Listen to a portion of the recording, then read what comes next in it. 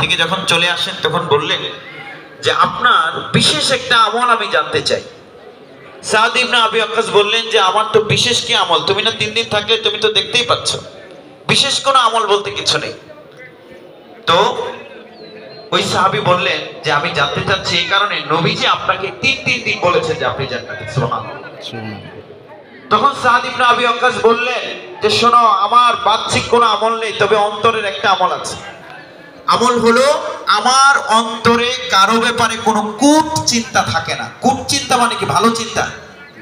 ভালো না খারাপ? মন্দ চিন্তা থাকে না। আমার অন্তরে কারও ব্যাপারে বিদ্বেষ থাকে না হিংসা থাকে না। আব্দুল ইবনে আমর ইবনে আস বললেন আমি বুঝতে পেরেছি হিংসা মুক্ত অন্তরের কারণে আল্লাহ নবী আপনাকে বলেছেন আপনি জান্নাতি মানুষ। ক্ষমাপ্রাপ্ত মানুষ। আমরা কি জান্নাতি হতে চাই? হতে চাইলে ঈদের দিনে একে অন্যকে ক্ষমা করব এবং ভালো